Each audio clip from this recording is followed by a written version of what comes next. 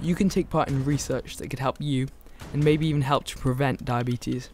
And it matters because If you're going to get type 1 diabetes, you're most likely to get it between the age of 9 and 14. many people find it difficult to control blood glucose levels, which means that in 15 to 20 years' time, they could be at risk of developing problems with their eyes, feet, or kidneys. It's the fact that it's too difficult. We need to make it easier.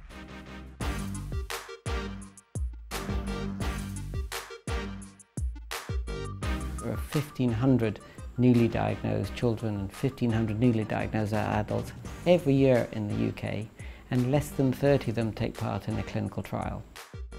At the moment, my body's attacking itself, and over time, that's only going to get worse. The pancreas gland that makes insulin is being damaged by the immune system.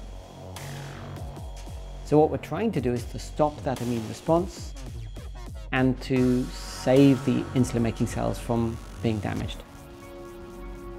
When you're first diagnosed with diabetes, part of your function of your pancreas is still working.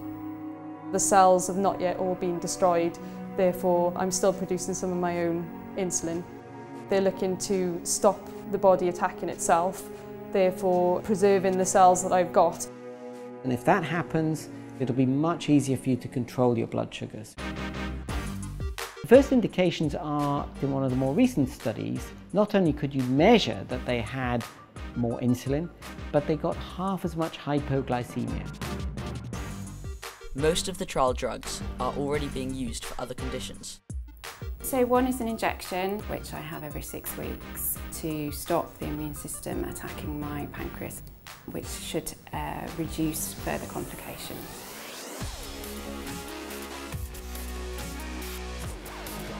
When you give an injection that is going to affect the immune system, it has to go down into where the immune system works, which is in the lymph glands. Most importantly, it goes to the lymph gland that drains the pancreas, and that's where the immune fight is going on. It's a seek and block mission. Reducing the overactivity, that's enough to stop the destruction and to keep those insulin-making cells working.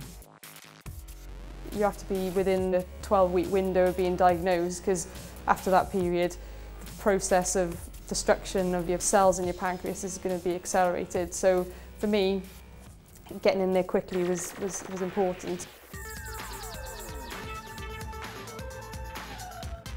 We want people who've been recently diagnosed in the last three months. You might preserve your own insulin. The dream ultimately is that we should be able to get rid of this disease in the same way that they've got rid of smallpox. Wouldn't that be great? If you've just got a diagnosis, there are clinical trials happening all over the UK. Get involved. Type 1 Diabetes Research.org.uk